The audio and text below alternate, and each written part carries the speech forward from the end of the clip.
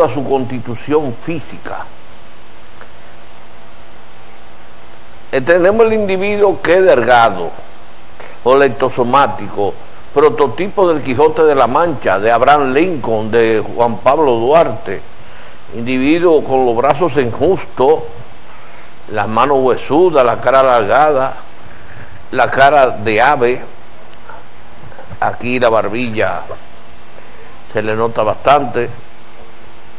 El estómago de estos sujetos, por su delgadez, es en forma de embudo, por eso sufren muchas veces de constipación o estreñimiento. Lo mismo tenemos el individuo pícnico, gordo, rechoncho. Este individuo tiene el estómago en forma de asta de toro. El individuo tiene eh, también el corazón acostado, me refiero a la punta del corazón, que está en el séptimo espacio intercostal izquierdo o yuta cardíaco, porque yuta pone como Yugoslavia, que era la península más fragmentada que existía, pero que ahora se ha dividido y tenemos siete países independientes más dos regiones independientes también llamadas Kosovo, Metoija y Borbodina. De ahí es el oriol, ese pajarito que usted ve, el oropéndola, que los orioles del Báltico cogieron ese pajarito, es típico de ahí. Pero que, en realidad el oriol allá en Baltimore, el símbolo de ellos es el cangrejo. Pero en el equipo usan esta avecilla. Pues bien, entonces tenemos que el flaco tiene el corazón en gota hacia abajo, la punta eh, vertical. Y el fuerte tiene el estómago en forma de J y el corazón oblicuo. Los tres individuos ante un mismo hecho reaccionan de diferente manera, incluso pueden coger enfermedades diferentes. Por ejemplo, el flaco puede coger fácilmente la tuberculosis, el gordo la esclerosis y la diabetes, la hipertensión, el fuerte la esquizofrenia, o sea que hay predisposición genética para ciertas enfermedades que no vienen ancladas en el organismo de él, pero que sí pueden adquirirla con mayor facilidad que otros. No es que otro tipo de temperamento, porque el temperamento es innato, se nace con él, no lo adquiera, puede adquirirlo, pero se da más en esos casos. Tenemos un hecho de la historia que nos registra al papá de Pedro Santana, general Pedro Santana y familia. Este hombre vivía en San Rafael de la Atalaya, allá en Haití, y por el, el encono que tenía contra los haitianos se mudó al Ceibo, al este, bien lejos.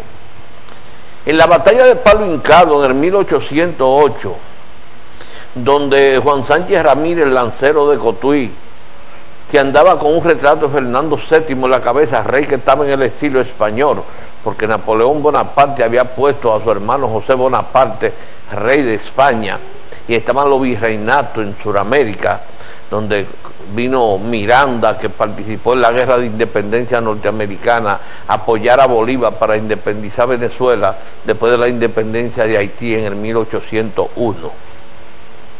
Entonces, este Juan Sánchez Ramírez, que quien lo, el mentor de era Núñez de Cáceres, que era el rector de la universidad,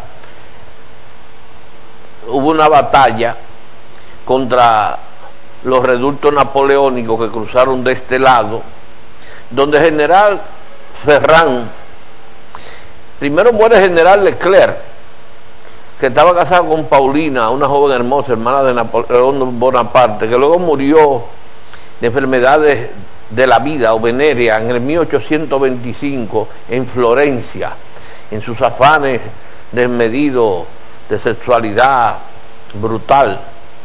Se hizo el palacio de la Citader, que está en Haití, para ella. Este Leclerc le había mandado clerén a Napoleón en una de las batallas. Llegó a probar el clerén. Murieron de rámpano y la fiebre amarilla. Y ese reducto que cruzaron hacia Montecristi el general que besó y el general Ferran, que besó se asustó. Y Ferran le dijo, yo te voy a mandar para allá, para la costa sur, para Niza, para Marsella. y lo embarcó y dijo, yo voy a echar el pleito aquí en el 1808. Los ingleses andaban cerca de aquí y entonces los ingleses pulsan a los franceses con que fueron que ayudaron a expulsar a los franceses, a Juan Sánchez Ramírez, a pesar que en Palo Hincado se le viró un general dominicano llamado Juan Sánchez a favor de que, apoyaba a los franceses a favor de Juan Sánchez Ramírez a última hora. Y ahí el papá de Pedro Santana, cuando Ferran se vio perdido, se metió en un cañaveral y se dio un pistoletazo, un balazo en la cabeza. Llegó el papá de Pedro Santana, le cortó la cabeza y le enseñó en una pica, una lanza. Pedro Santana y su hermano Ramón eran gemelos univitelinos de una placenta heredar la esquizofrenia de su padre, que se hereda un 14.8%. La esquizofrenia se puede adquirir, como el caso de Trujillo, por ejemplo, en el 1914, cuando Bienvenida Morel le negó los amores, creó una personalidad él ya esquizofrénica. Esta esquizofrenia es un desorden mental donde tiene varios estadios de acuerdo a la edad del paciente. Tenemos Everfrénica, del dios Ever, de la juventud. Esa tiene buen pronóstico, esa llega hasta los 27 años. De los 27 a los 35, Evedofrénica. De los 35 en adelante, la paranoica. Y luego viene la catatónica o la posición estatuaria de Buda del individuo. Este Trujillo con esa personalidad paranoica que tenía, tenía delirio, porque ahí viene el delirio, al delirio acústico de oído que oyen dique voces y, y delirio visuales que ven cosas, por ejemplo como el caso del síndrome de Korsakov, el ruso del alcoholismo, también el delirium tremen, se da en el alcoholismo, esas chapetas mitrales que tenemos en la cara, eh, colorada y, que también nos da este problema de la, la de conciencia y desorientación temporoespacial debido al alcoholismo.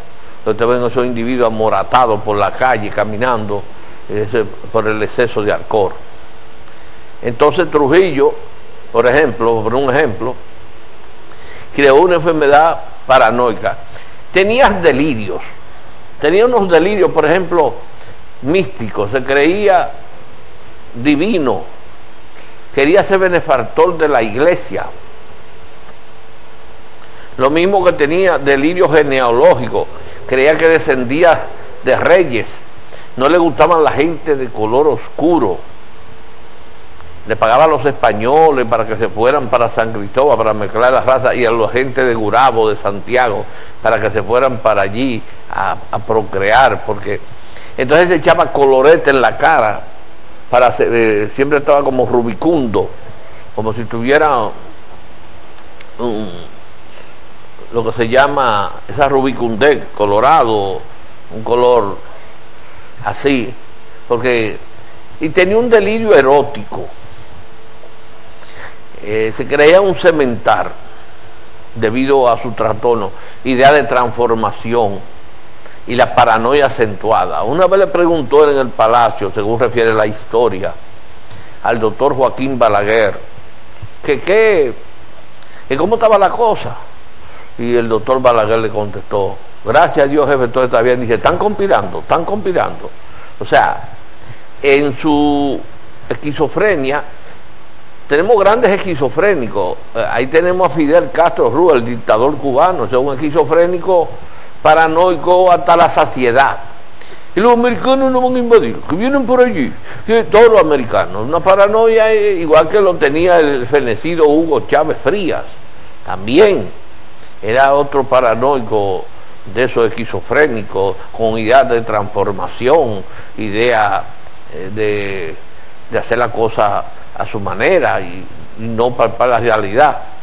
Entonces tenemos esos personajes con la paranoia, como fue Pedro Santana y familia.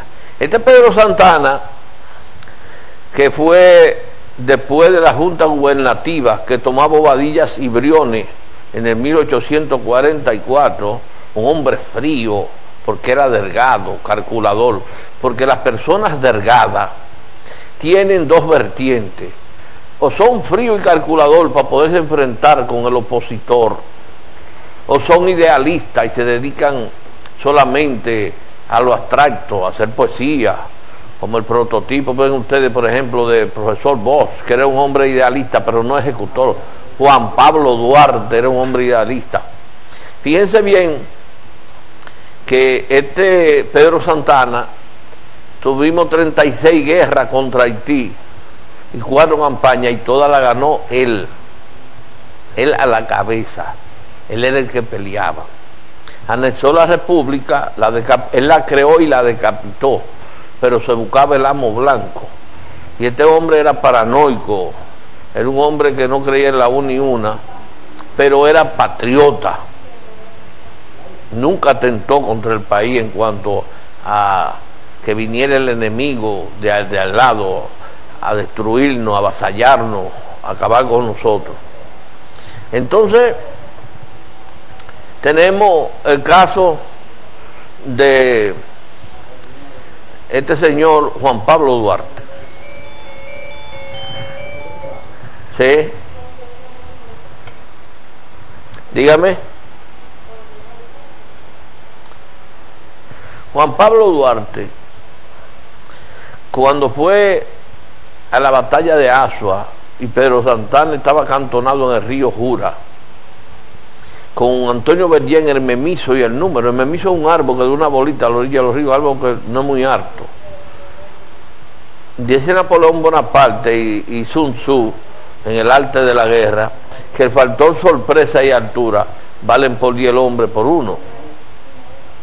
Entonces tenía cantonado ahí el general Charles Gerainé, que había entrado en pinza por la Icotea y la María, porque de Haití aquí se entra siempre, o, por el sur, por ahí, por la Icotea, la María Neiva, o se entra por Dajabón, por el norte.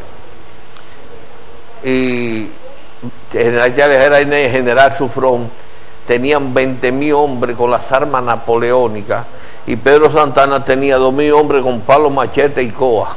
Era un atero, un hombre de, de ganado, pero con un patriotismo arraigado. Cuando va Duarte, que vino el 15, de marzo, porque estaba en el exilio en, 1843, el general Charles Gerainé lo había eh, hecho exilar. Le dice Pedro Alejandrino Pino, vamos a atacar. Y Pedro Santana le dijo, no, no, no se puede atacar porque esa gente está muy bien armada. Yo voy a esperar el momento preciso para yo atacar a esta gente, porque imagínate, son muchos. Mientras la República tenía 76 mil habitantes, los haitianos eran 400 mil. Imagínense ustedes. Y le dije él a Pedro, Santana, Pedro Alejandrino Pina, no podemos atacarte, ese tranquilo. Y le dice a Duarte, mire, váyase para Santo Domingo. Tomaba a Brioni, que era jefe de la Junta Gubernativa, le había dado un dinero a Duarte y él le dijo, vete para allá. Entonces, pero Alejandrino Pina, que andaba con Duarte, dijo, vamos a atacar nosotros, sin él. Y Duarte le dijo, no, decapitamos la república, que está recién creada, y entonces es mejor que nosotros no vayamos y dejemos este hombre de arma aquí, que él sabe lo que está haciendo. Entonces este fue juicioso, fue sensato, porque no era ejecutor, era un hombre idealista, no sabía de eso, de armas de fuego, era un hombre de, verbo, de pluma. Lo dice hasta el doctor Balaguer en El Cristo de la Libertad. Entonces, ese es el hombre atlético, este era el hombre idealista, Duarte. Pero viene el hombre pícnico, el rechoncho. Ahí tienen ustedes, por ejemplo, al padre Meriño, que aún siendo cura, decretó el 30 de mayo, el mismo día que mataron al generalísimo Trujillo, el decreto de San Fernando, que el día de San Fernando es que el que encontrara con las manos en las armas lo iban a ejecutar. El gordo es una persona sensata, que tiene el polo de la alegría y el polo de la tristeza. Y cuando está en el medio es el polo de la sintonía. Cuando Lili coge al comandante Botello que viene por allá, por el este, 23 dominicanos, Meriño da la orden que lo maten, siendo cura. Incluso era masón, no era la masonería antimonárquica y antirreligiosa que existía en España. Era muy bien una sociedad que se, porque Duarte fue masón también, lo mismo que Bolívar.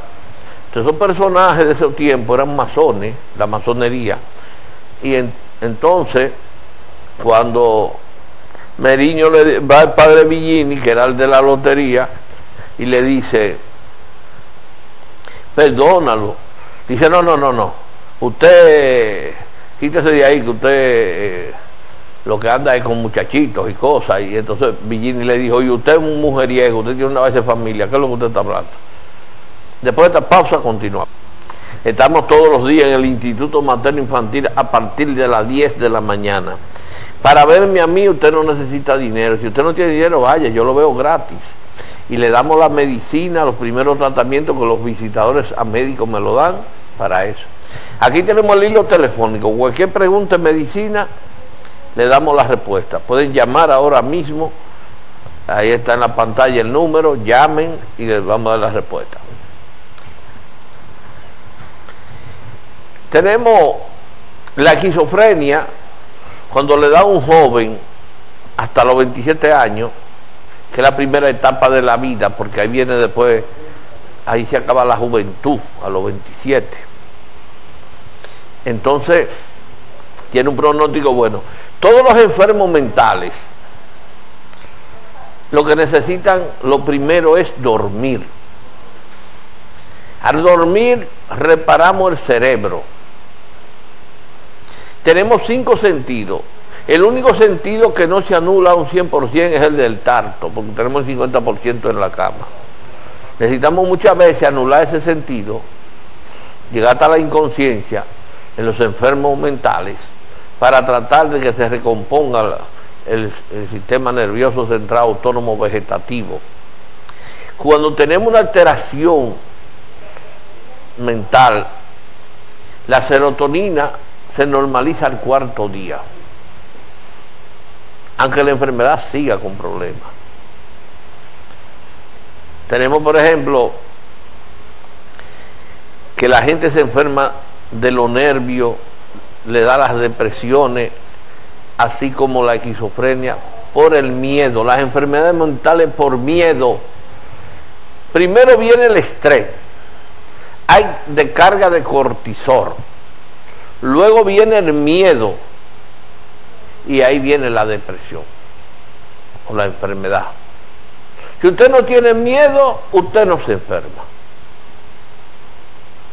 Hay personas que viven en un mar de duda, dubitativa, y en consecuencia esa inseguridad puede abocar el día de mañana con ese temor de la vida a una depresión. Ahora le llamamos a la depresión endógena y exógena, pero le dicen ahora bipolar.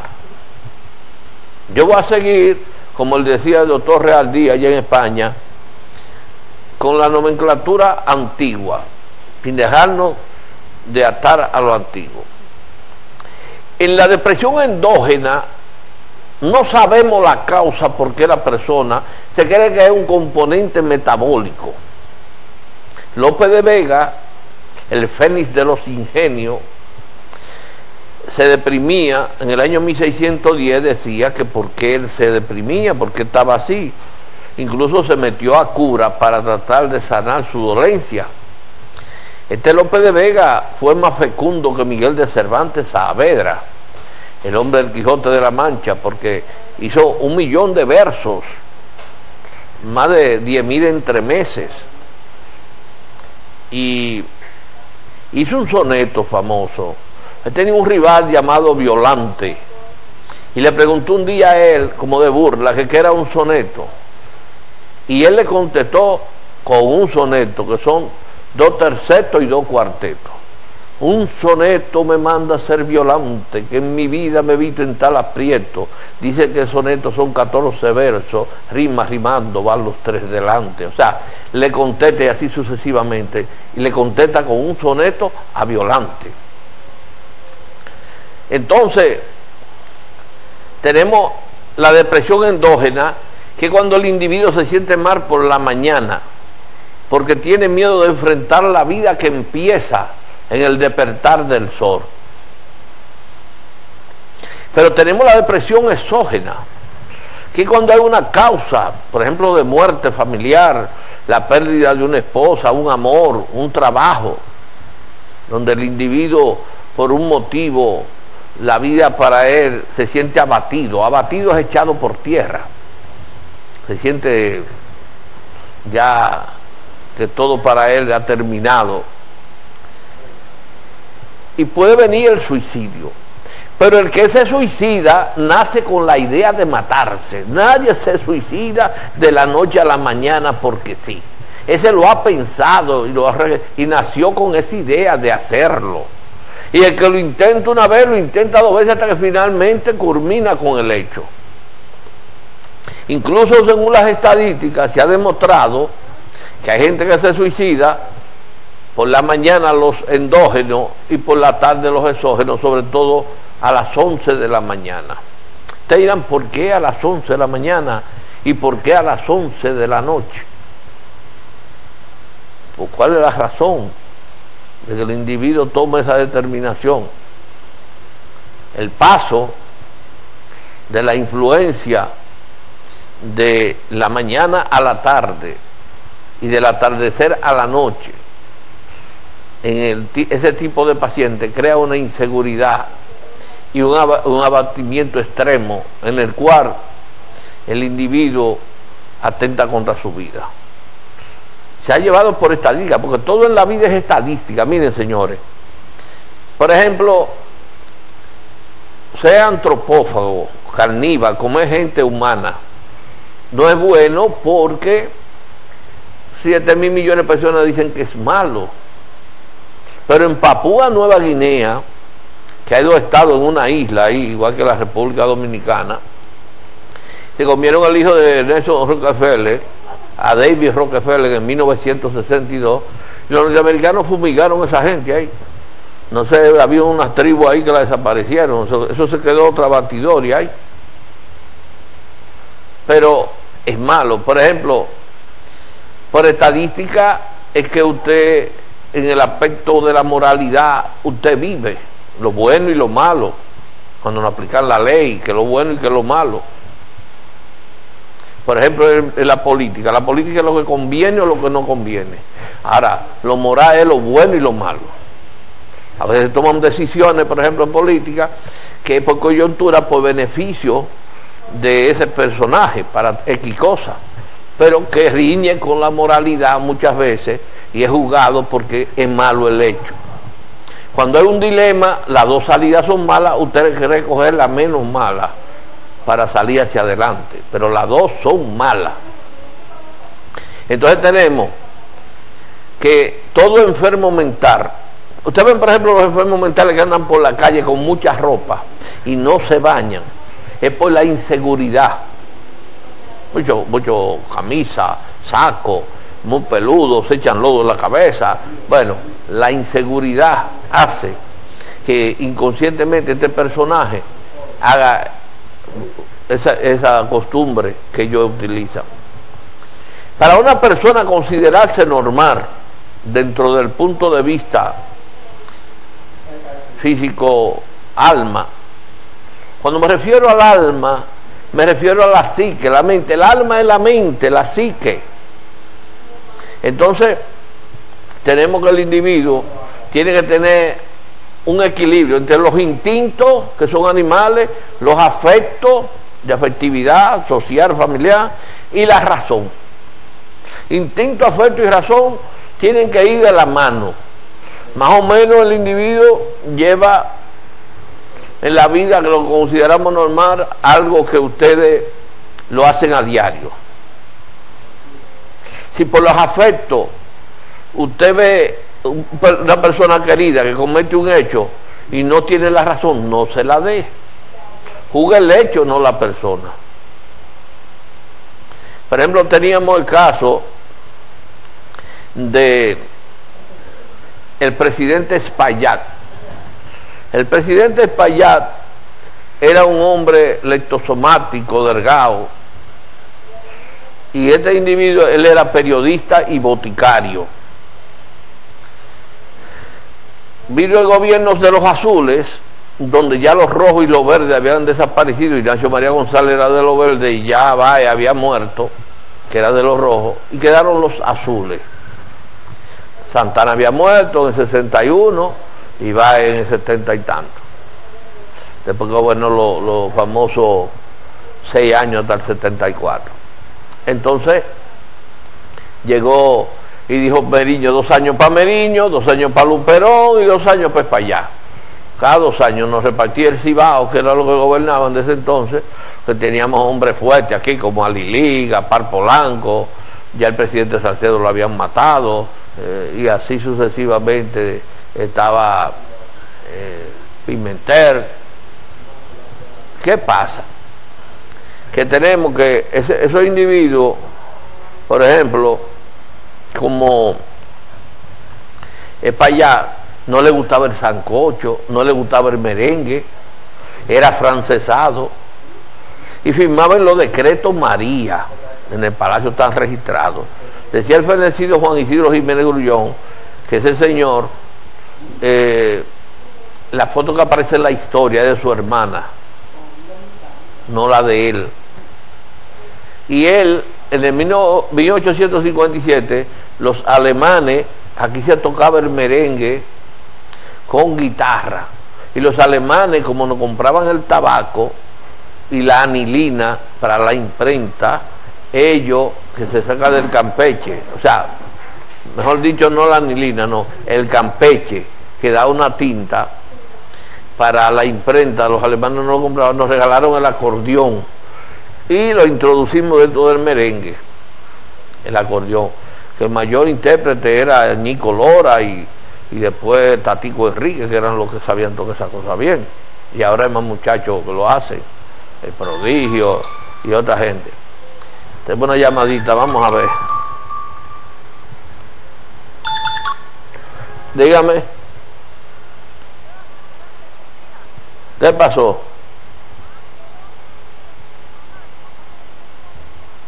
Mm. Está bien. Sí.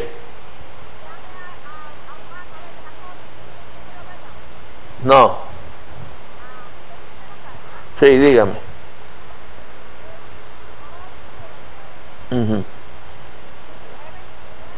Mhm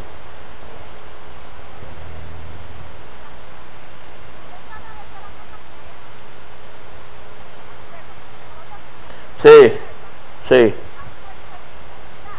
mhm mhm Exactamente.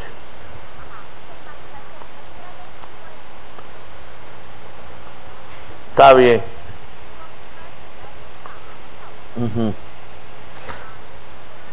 Está bien.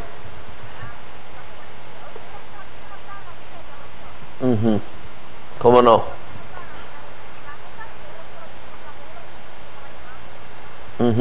Ok.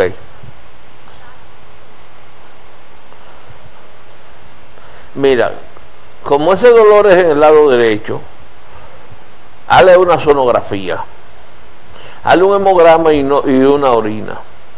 La sonografía, ahí vemos si hay un, proceso de vesícula, un proceso de riñón, una piedra, como es varón.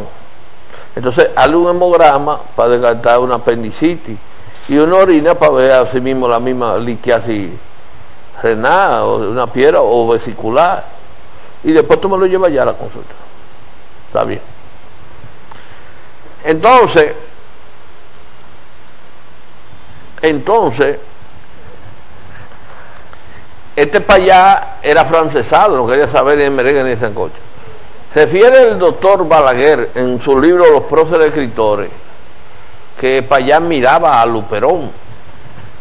Y un día dijeron que Luperón había muerto en un lance. él estaba deprimido, cabibajo, pero al otro día apareció Luperón, todo andrajoso, todo roto, con el sable roto. Y él exclamó, ay Luperón, aún la patria vive. O sea, porque en el hombro de él descansaba la patria en ese momento. ¿Sí? Doctor, ¿cómo está usted? Bien, bien. Doctor, yo tengo un calambre de espalda que me está matando, no se me quita eso. Vamos a tomar, mire, anote ahí, Gabapet de 300 miligramos, uno en la mañana y uno en la noche, y complejo B, alfa, uno en la mañana y uno en la noche, por Pues está bien, gracias. 10 días, sí, sí. Un calambre en la espalda, hay que buscar ahí, entre otras cosas, deficiencia de complejo B. Vamos a darle el complejo B, la vitamina B1, tiamina, se pierde diario, producida por la flora intestinal. Y hay que ver el trabajo que ya tiene esa señora también, o la, o la deficiencia alimentaria que pueda tener, a lo mejor es diabética, y estos y estos complejos B que son del agua están en ciertos componentes que el diabético no puede ingerir. Entonces, vamos a darle complejo B y vamos a darle gabapentina. Podemos dar gabapé, neurontin de 300, le vamos a dar una en la mañana, una en la noche, un complejo B, una en la mañana, una en la noche, por 10 días. Si, si sintomáticamente no cede, entonces vamos a hacer una placa para ver las vértebras del cuello, si hay un pinzamiento de algún, algún nervio. Acuérdense que tenemos 31 nervios que salen de la médula espinal, que se junten la cuarta cervical con el encéfalo, donde está el sistema nervioso central autónomo vegetativo con su fibra simpática y parasimpática, y el sistema nervioso periférico con los dos pares craneales. Tenemos que ver ese pinzamiento, si alguno de esos, esos nervios que están pinzados y le produce ese calambre que ella dice que puede ser el pinzamiento de una de las vértebras. Pues bien, tenemos el caso, vamos a hacer una pausa. Había un personaje que recoge la historia, Adolfo Hitler. Este hombre que tenía de idea de transformación y que terminó matándose él y su amante Eva Braun, tenía más terreno que Generalísimo Trujillo. Los dos eran similares, a Trujillo le faltó más terreno, pero tenían una diferencia.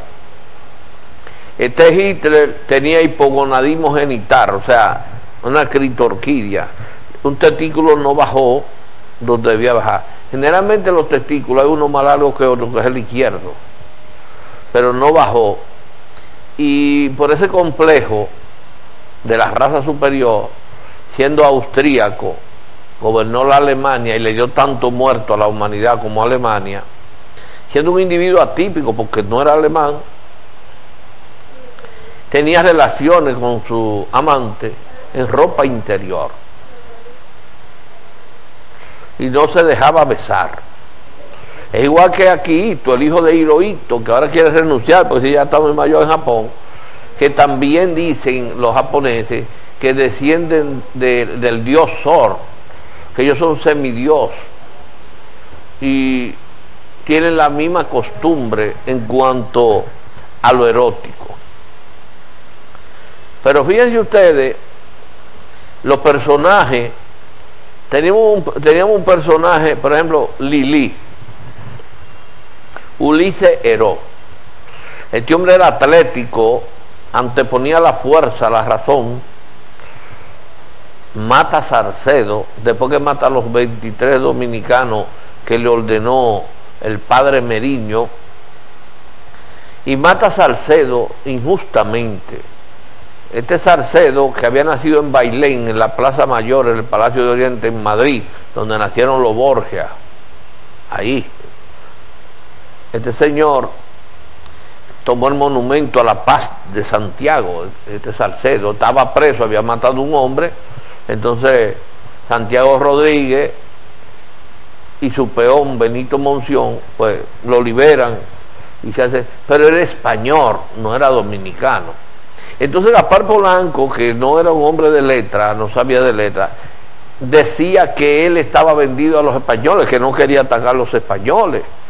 Porque Gaspar Polanco era un hombre atlético y murió pasmado con hoyo hacia Santiago. Porque la guerra de la restauración nuestra fue una guerra patriótica y racial. No querían el dominio español y los haitianos, Fabre y Jefran nos ayudaba para que no fueran gobernados los haitianos por los españoles, ni nosotros, el reducto de dominicanos que habíamos, por los mismos españoles. Entonces, este Lili mata a Salcedo.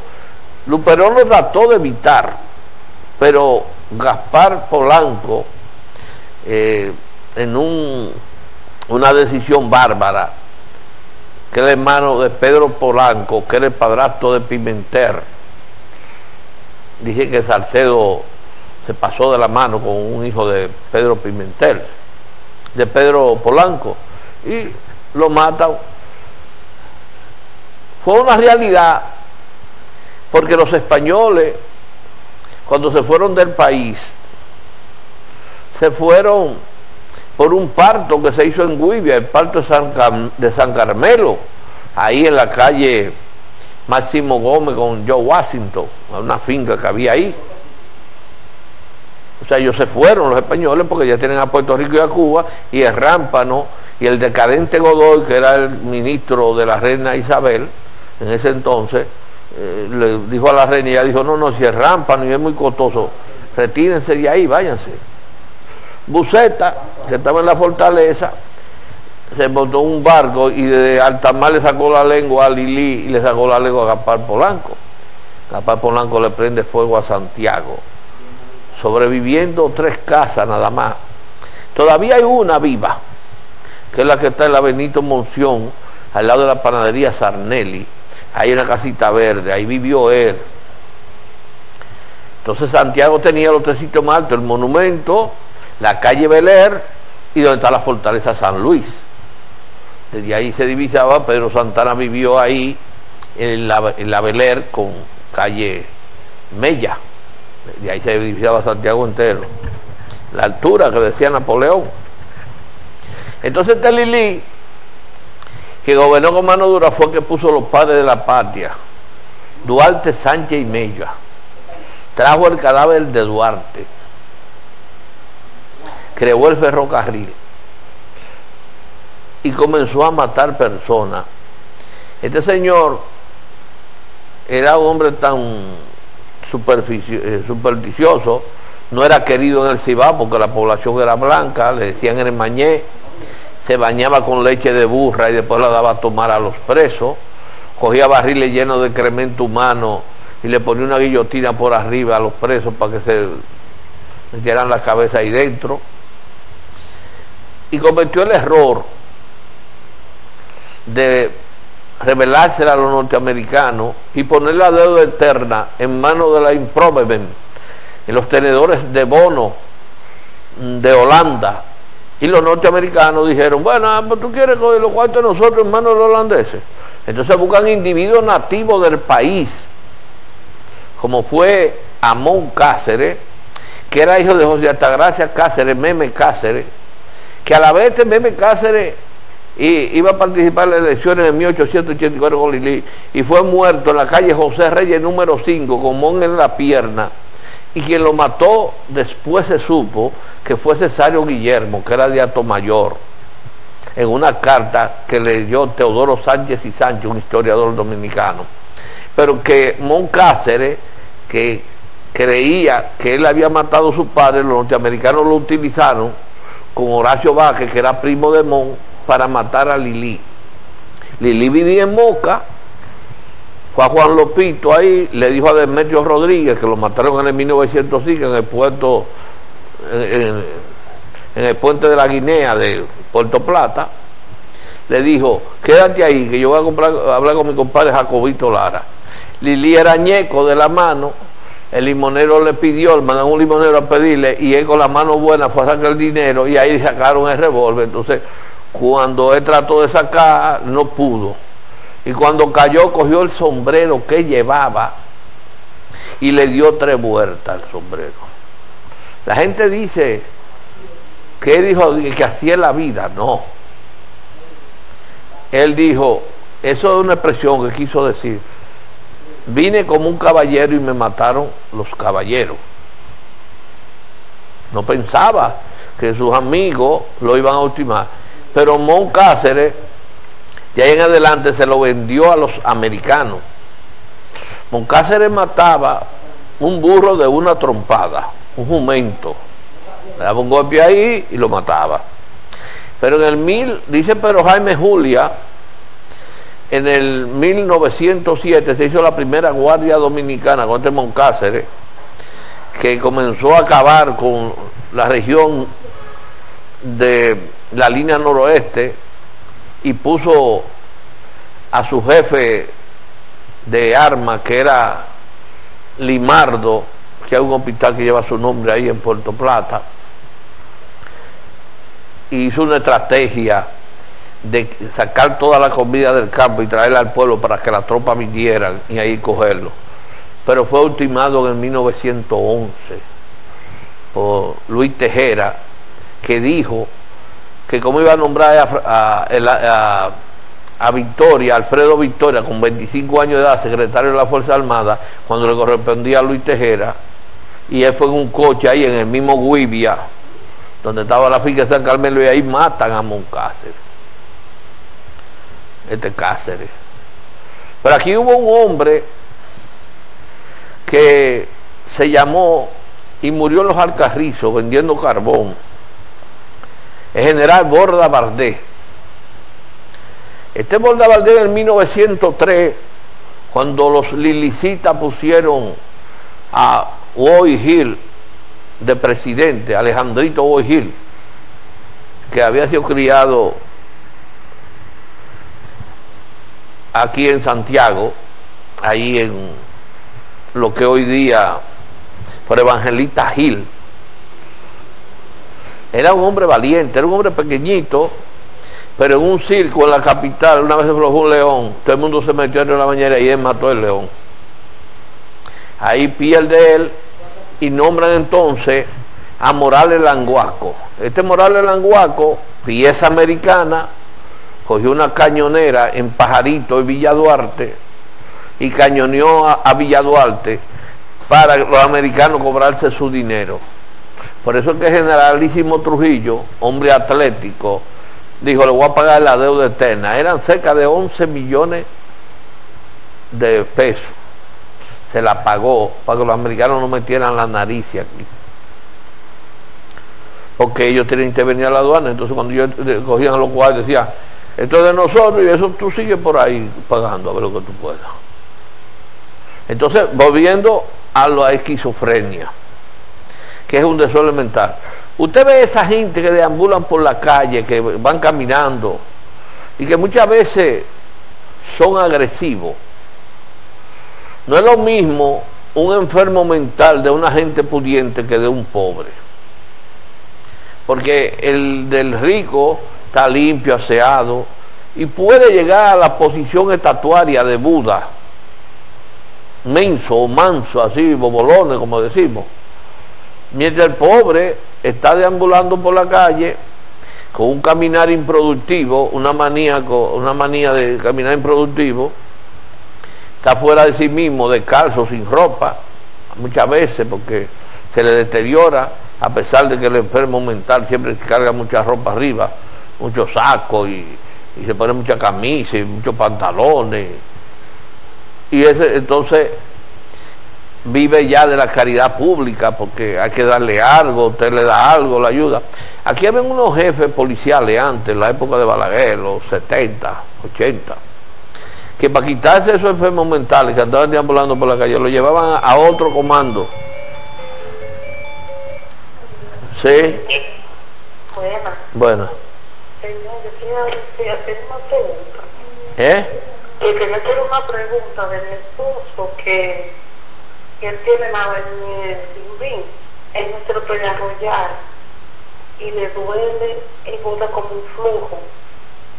Yo él, es, él es diabético.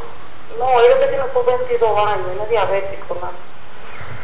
Mira, ahí, ese, eso, ese flujo que tiene, eso es una moniliasis seguro, del Candida albicans.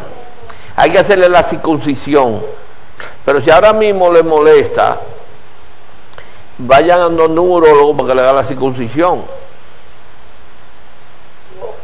Lo, eh, lo que se puede hacer también es, ahora mismo, mire, coja una crema X, la que usted quiera, y trate de ponérsela por dentro o como se pueda y por los lados, y trate todos los días de hacer un poquito del ejercicio, que lo haga él mismo, a ver si cede un poquito. Si no, vamos al urólogo a hacernos la fimosis. yo le estaba dando la pastilla de Rotana. No, pero eso no tiene nada que ver con la próstata, doña. El glande y la próstata son dos cosas muy ajenas. Eso no tiene nada que ver. Como muchacho con 32 años no tiene problema con la próstata. A menos puede tener una prostatitis por una infección, pero eso es pasajero. No puede haber una hiperplasia, ni nada de eso, ni un cáncer, ni nada de eso. Eso ahí lo que hay que hacer es tratar de todas maneras, a ver si la que tenga 32 años, a ver si es diabético juvenil. Se le raja por los lados. No, pues no, una brillita. Ah, vamos a hacerle la... Va, hágale una glicemia, ¿eh? Hágale un análisis del azúcar. Y vamos a emplear una crema que se llama nevacetina, por fuera, nevacetina. Y si usted quiere, usted me lo lleva allá. Si usted no tiene dinero de gratis, usted va, no se preocupe. ¿Dónde tú estás? En el materno infantil, en la primera planta. Usted lo lleva, no se preocupe. está bien, gracias. Nos vamos. Hasta mañana.